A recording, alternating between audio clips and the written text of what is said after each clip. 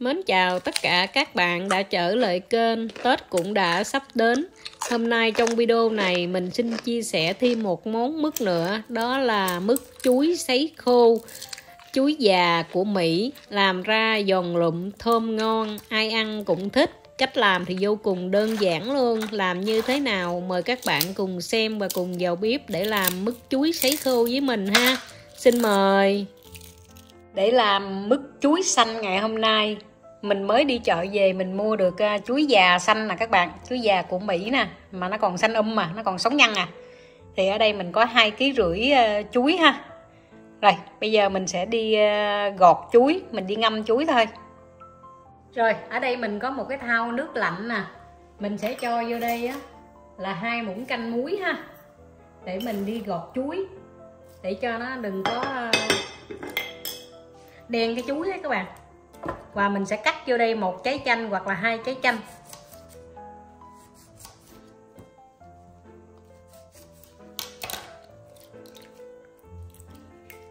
Mình cho vô đây một trái chanh ha. Mình cho cái vỏ nó vô luôn. Mình có chuối già thì mình làm chuối già còn mình không có chuối già thì mình có chuối sim thì mình xài chuối sim ha tùy thích. Ở đây á, mình đi mua được chuối già thì mình về mình làm thôi mình chia sẻ thôi cái à, không có mua được chuối sim. Rồi, bây giờ mình quậy lên, mình trộn lên cho muối với chanh nó hòa quyện với nhau. Rồi, bây giờ mình tiến hành mình gọt chuối nha.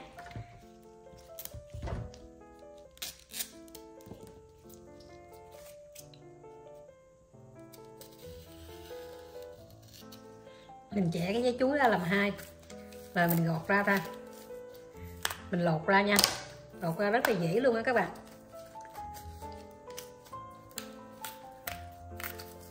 Rồi mình cho hẳn cái chuối này nè vô trong cái thau nước uh, chanh luôn nước muối luôn.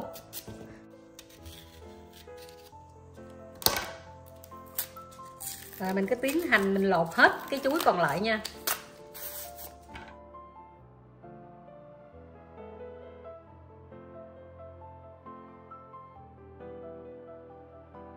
Bây giờ mình đã gọt chuối xong rồi, thì mình tiến hành mình bào chuối luôn nha các bạn. Thì ở đây á, mình có con dao bào nè. Mình muốn ờ, có con dao bào nào thì mình bào vào dao đó ha. Mỏng hay dày thì cũng tùy thích. Thì bây giờ mình bào, tiến hành mình bào.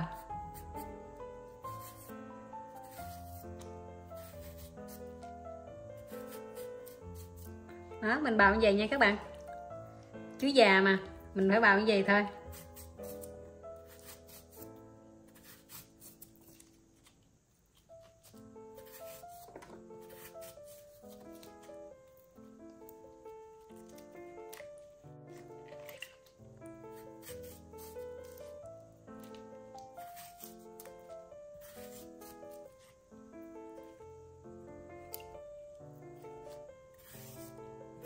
Rồi mình sẽ bào hết uh, những trái chuối còn lại nha.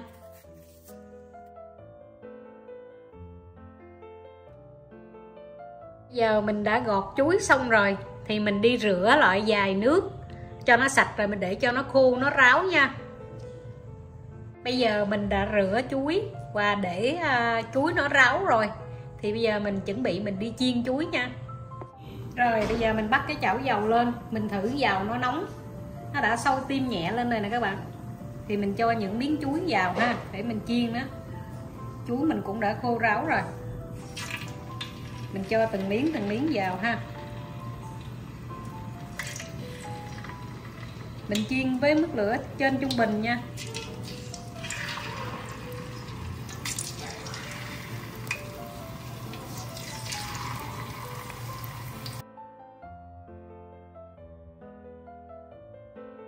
Mình mới bỏ vô các bạn.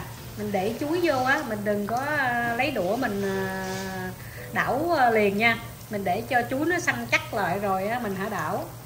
Để không thôi nó gãy cái, cái chuối của mình đó giờ mình chiên cho hai mặt nó vàng ha. Mình chiên với cái lửa trên trung bình. mình chiên một lần ít một lần ít như vậy nè thì chuối của mình á, nó ngon. Nó không có bị ờ, dính với nhau và nó giòn nữa nó giòn đều nữa.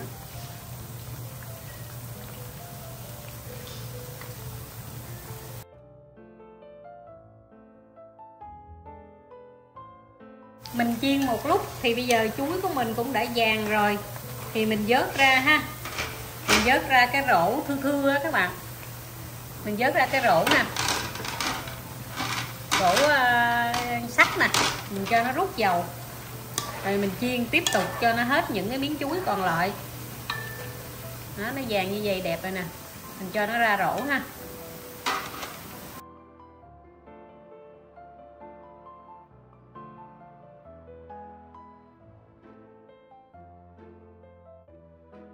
Mình có hai viên đường thốt nốt bằng 120 gram.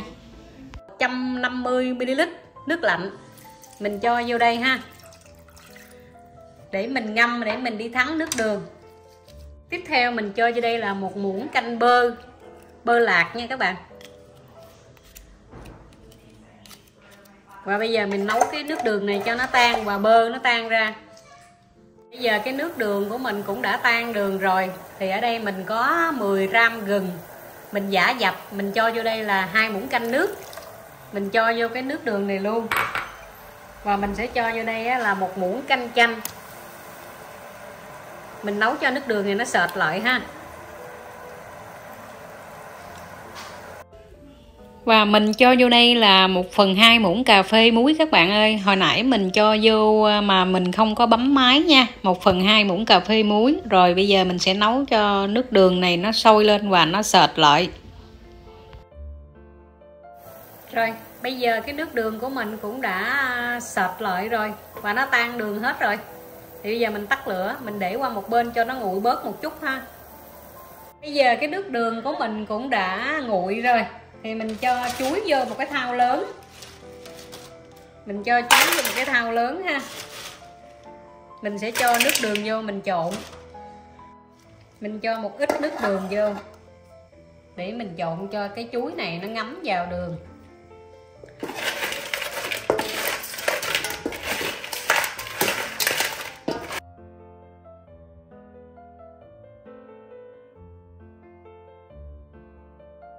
rồi, mình đã trộn xong rồi. Thì mình cho cái à, chuối trộn đường nè, cho ra cái à, cái lượt này để cho nó ráo dầu ấy à, ráo đường ha, để cho nó ráo nước đường. Rồi mình cứ trộn tiếp tục cho hết những cái chuối còn lại.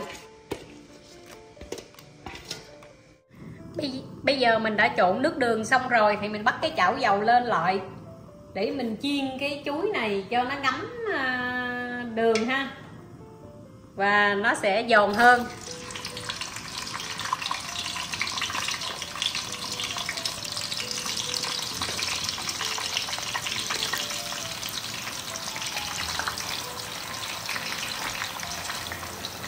Mình chiên khi nào á nó hết, xèo xèo xèo, mà nó hết nổi à, bong bóng lên, nó nổi à, bọt lên đó các bạn, là được. Là mình vớt ra rổ ha, để cho nó ráo dầu. Mình chiên lần hai như vậy nè, thì nó ngấm nước đường, và nó giòn lâu, và mình để lâu nữa. Mình ăn lâu á, nó không có bị hư.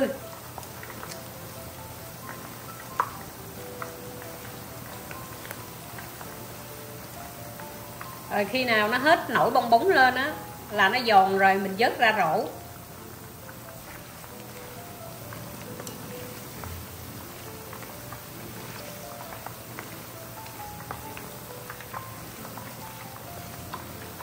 Lần này á, mình chiên á, với cái lửa vừa ha.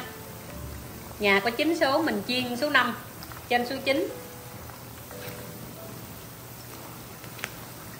rồi, bây giờ nó hết kêu xèo xèo rồi, thì mình vớt ra ha, nó đã vàng rồi. Đây, là những miếng chuối của mình đây. Nó vàng à, đẹp màu rồi, nó giòn rồi các bạn. Rồi mình cho ra cái rổ ha.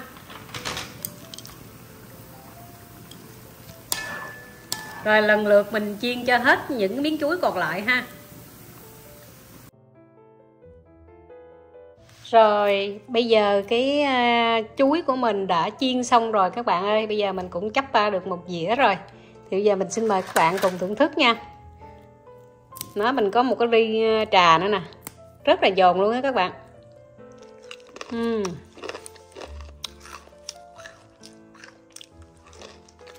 Giòn ngon các bạn đồ ngọt á, không ngọt lắm. Thơm mùi bơ, mặn mặn, ngọt ngọt, rất là ngon.